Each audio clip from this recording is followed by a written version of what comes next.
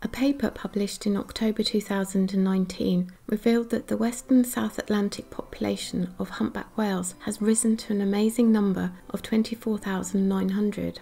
This means that this population has recovered to nearly 93% of its pre exploitation abundance, and there is a high probability that the population will be nearly recovered in 2030. This is fabulous news. Due to commercial whaling, the population had plummeted to less than a thousand individuals for nearly 40 years and were on the edge of extinction. It is estimated that since the early 1800s, between 40,000 and 60,000 individuals from this population were killed by whalers. Currently, four out of the 14 distinct populations are still protected as endangered, and one is listed as threatened.